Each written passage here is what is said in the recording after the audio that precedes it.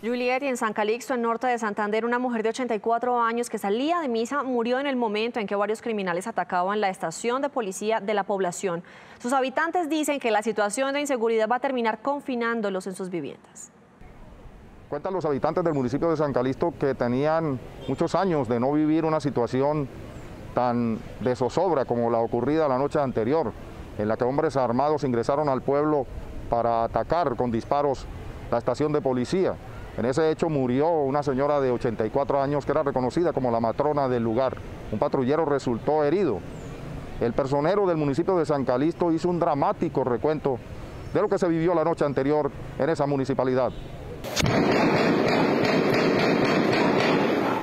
José Luis Franco Pinzón, personero de San Calixto, narró los momentos de angustia que vivieron los habitantes de esa localidad durante un ataque de hombres armados a la estación de policía en el que una mujer de 84 años murió y un patrullero resultó herido. Como ustedes lo ven, hacia mi mano izquierda queda la estación de policía A mi mano derecha queda el palacio municipal del municipio de San Carlos y luego tenemos la parroquia de Nuestra Señora de Rosario. Y encuentran ustedes el parque. Y más abajo está la Casa de la Cultura del municipio de San Carlos.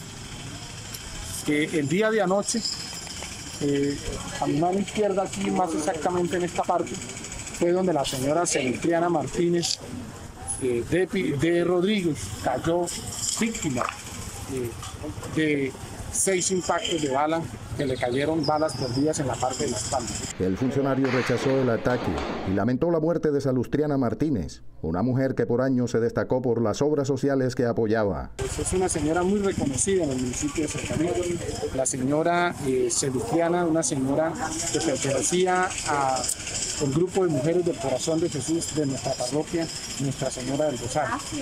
Eh, decirle eh, que como personero del municipio de San Calixto lamentamos mucho lo ocurrido. En este ataque también resultó herido el subintendente John Jairo Barrera, quien fue trasladado a un centro asistencial de Cúcuta. El terrorismo, una vez más, ataca de manera indiscriminada, violando los derechos humanos y el derecho internacional humanitario, sin respetar la población civil. Lamentamos profundamente la muerte de la señora Celustriana Martínez, que resultó afectada en medio de esta acción terrorista hechos que serán materia de investigación. De estos hechos resultó herido un policial que fue evacuado hacia Cúcuta por la institución y se encuentra siendo atendido. Defensores de derechos humanos condenaron este ataque. Rechazamos tajantemente estas acciones que se han venido presentando por parte de los grupos armados ilegales en la zona del Catatumbo. Hoy le pedimos a estos grupos armados un cese al juego, donde los únicos que se están viendo afectados es la población civil. En la zona continúan las operaciones militares para dar con los responsables del ataque. El asesinato de la señora Salustriana Martínez ha servido para que el país voltee sus ojos o su mirada hacia la región del Catatumbo.